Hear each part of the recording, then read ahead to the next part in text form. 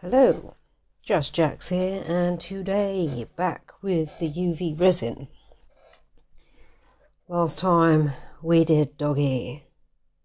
Success.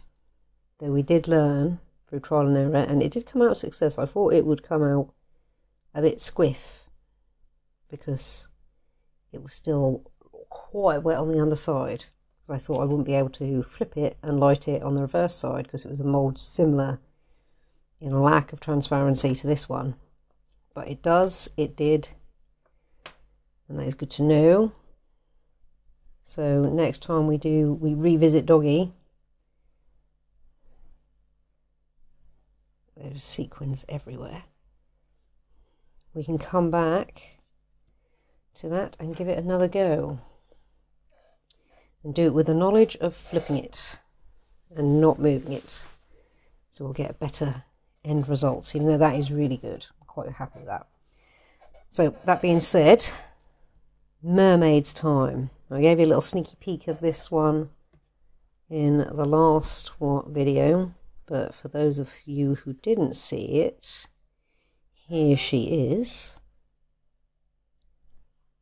How cool. It's going to be quite interesting to do. I'm going to try and put white in the bone bits. Leave the rest clear, white face, and then I've got blue shimmer for the hair and holographic chunky glitter that I'm going to try and pop in there too.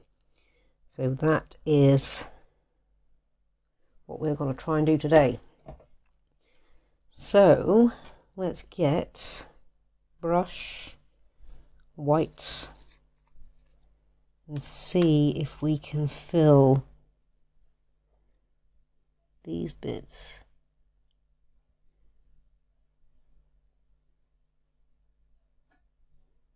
I've got a feeling it's going to sort of go everywhere, but as long as we can get a fair amount in the groove.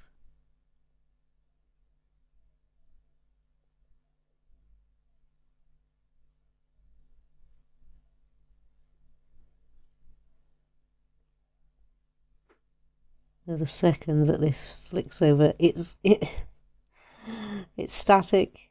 It's just spreading the second that I touch or hover over.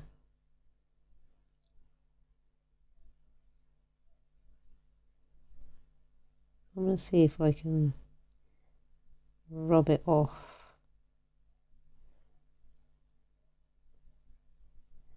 Where we don't want it.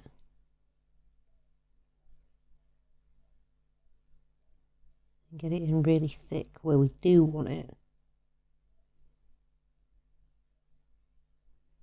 That's what I'm going to try.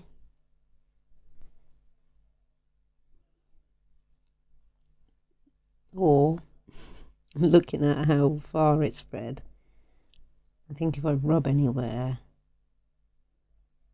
yeah, it's not really going to do anything.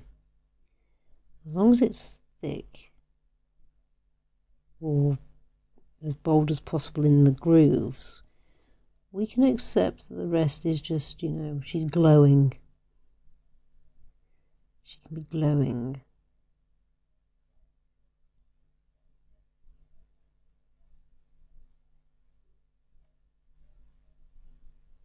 We can accept that.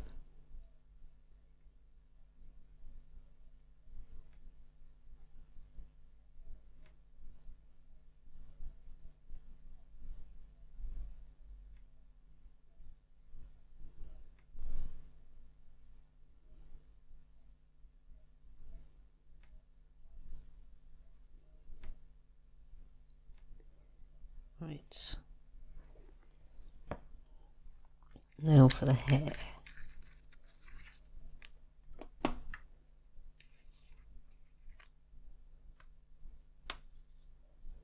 Let's try. This is a bit more controlled. It doesn't want to static around like the white did.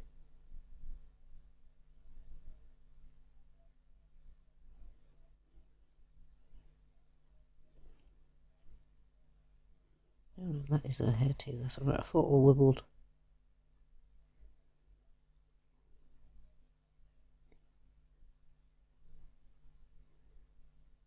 Okay.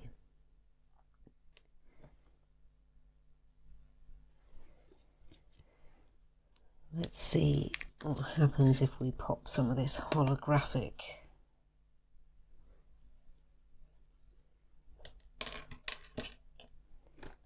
chunky glitter in the hair too. See what we got. See what we get.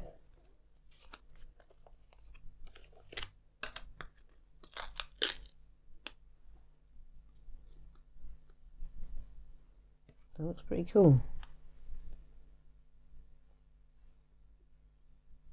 We only want this in the hair. Don't really want it in the face.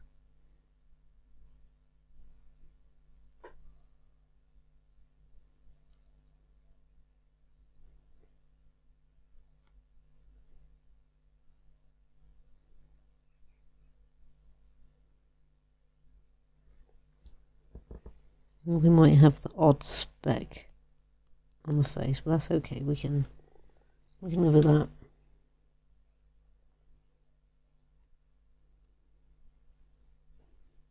Let's see how that comes out.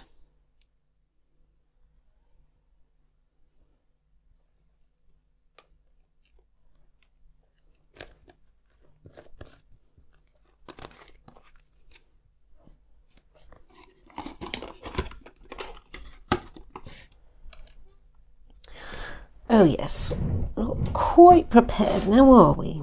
Look at my lights.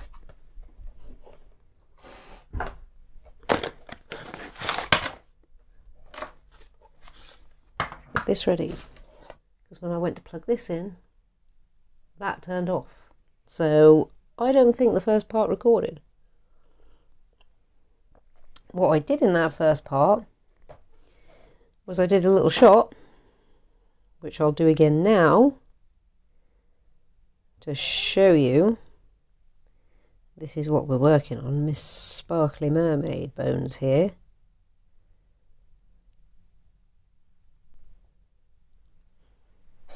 And what I did in that first part, which may or may not have recorded, was I applied white shimmer to the bony areas, blue shimmer to the hair areas, and chunky holographic glitter also to the hair. Let's just get this UV resin applied. and hopefully it's definitely recording now. We'll have no more recording hiccups. So um, I'm going on with the show. I'm not going to wash this off and put it all back on again. We'll save that for next time because we'll obviously be using this again. Right, let's get filling with the UV resin.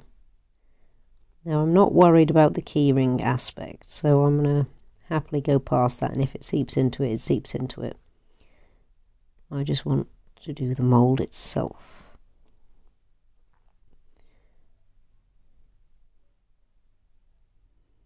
Thinking about it, I should have done black around the eye, shouldn't I? Well, we're definitely going to be revisiting this mould then, aren't we?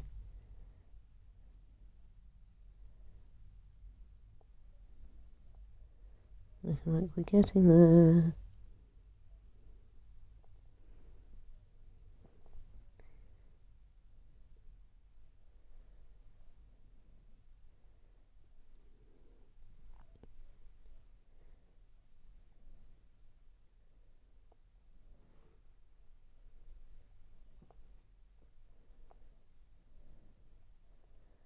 Right, I think looking good and level. And I think I can see quite a few bubbles appearing. So, lighter. I am going to invest in a candle lighter because that'll be easier to do. Because that's one of those with a body like this, but it has a long bit with a lighty bit on the end. So that'll make this easier to do.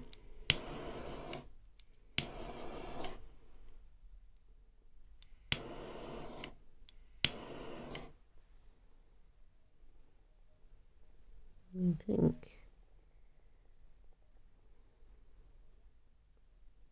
Okay, while you look at the back of my head, I'll make sure there's no more bubbles.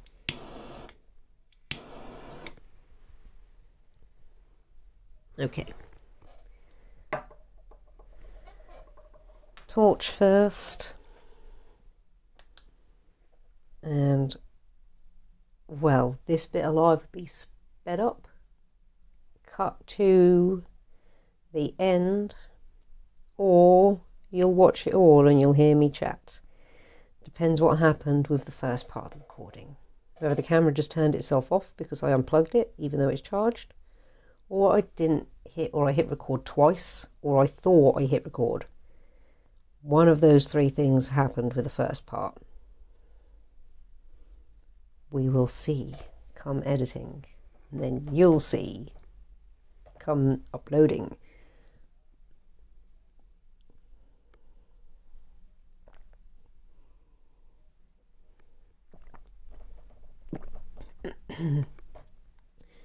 Either way, we will be coming back to this mould and trying it again with a bit more finesse. In different colours. I might try and white the bones again, but invest in some white white. Um, or we'll just do her like a glowing fishbone colour. Maybe try the chameleon powders.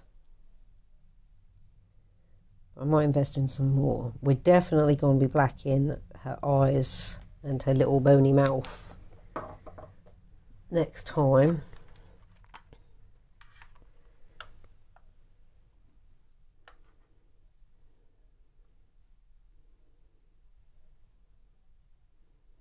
And a different colour for the hair.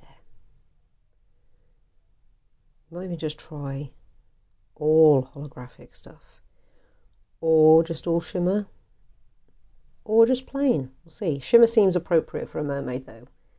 Mermaid bones or no. It definitely seems appropriate.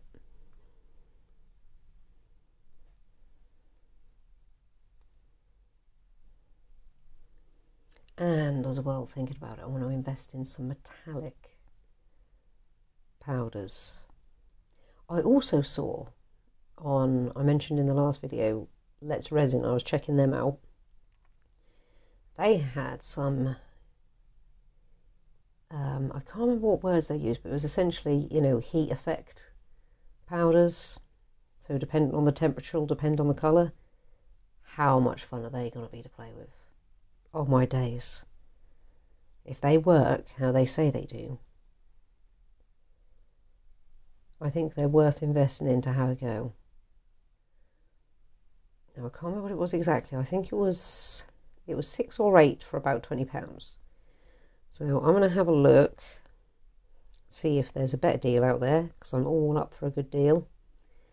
Um, and then if not, I will bite the bullet and invest in them and trust that Let's Resin won't let me down.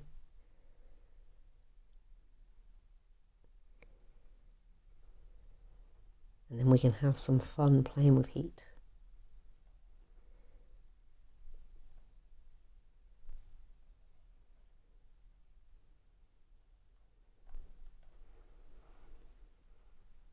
I'm also going to take this opportunity, edited or not, to drink my tea. It's going to go cold.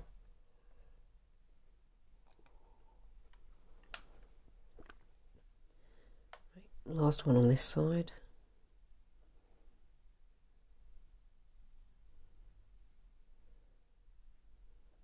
and we'll flip her over. Even though she's a shallow one, I'm still gonna I'm gonna do what's been working.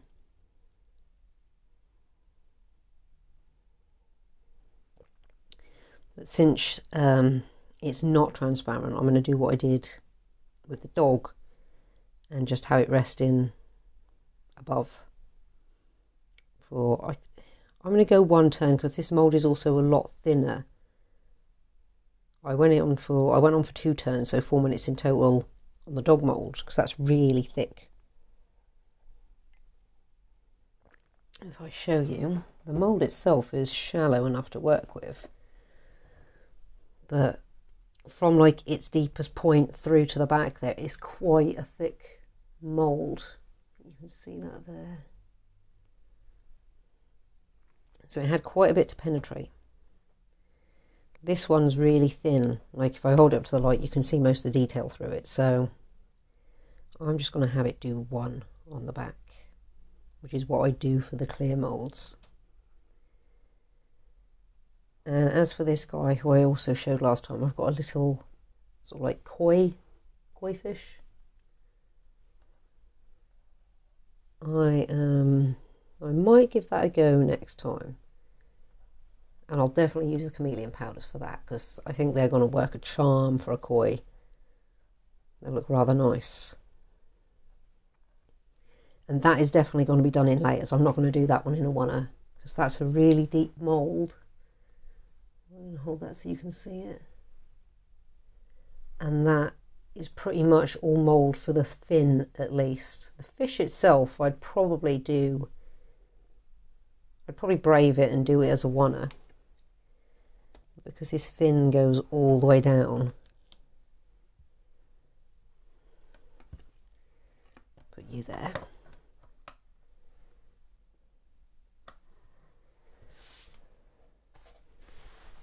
I'm going to do that in layers, like fin first, and then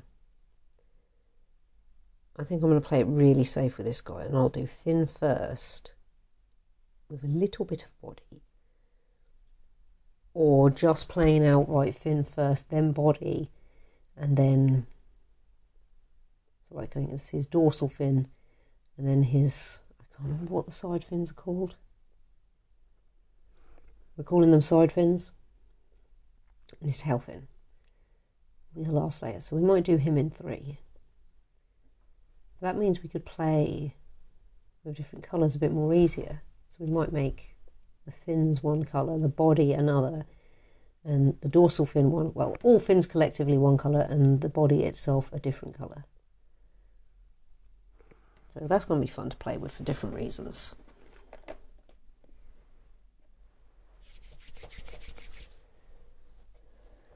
And I had a look. Some of you would already know I always give these a little clean with the nail varnish remover.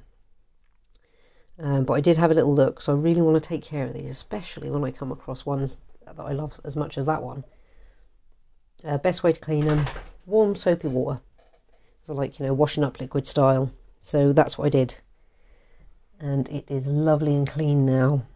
So it's just good practice as well. Always clean your moulds after you've used them.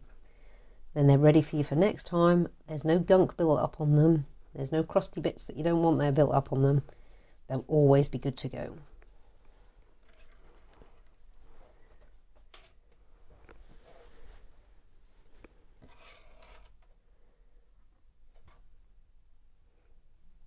So, fingers crossed, this one comes out fine. Now's the telling time.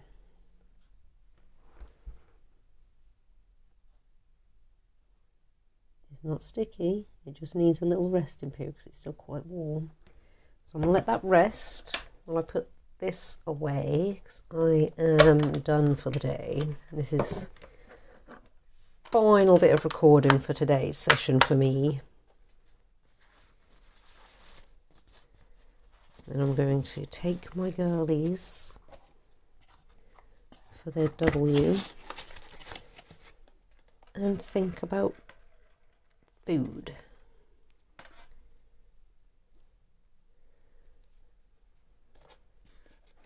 That's my plan for the rest of the day. After cleaning up here, of course.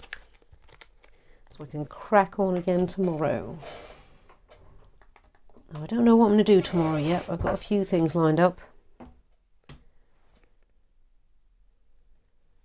Yeah, unsure. Be a surprise. Surprise day. Pop that back over there.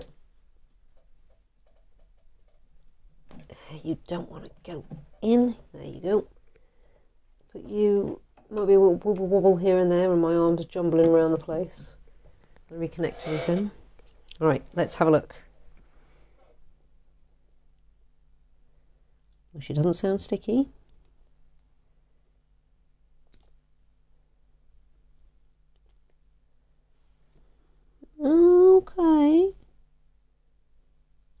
She's pretty cool. I think she just needs to rest for a moment. I might. She's a tiny, tiny bit tacky. So I think even when it's shallow like this, stick it on for two. So I'm going to give her another blitz in a moment.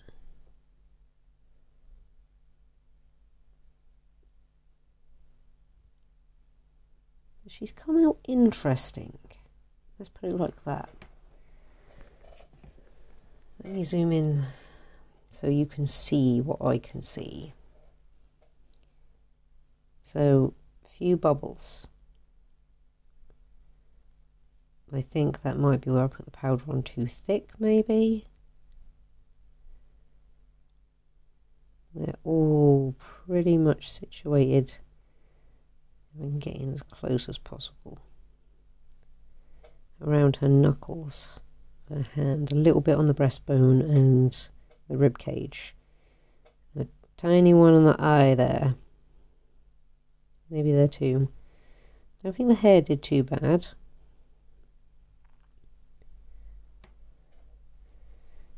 The rest are on there so you can see. Now I am going to finish here.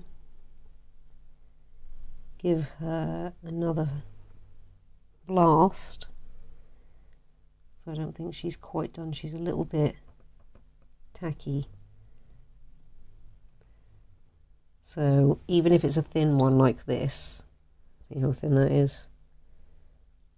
We're still going to give it four minutes on reverse when it's a mould that's not transparent.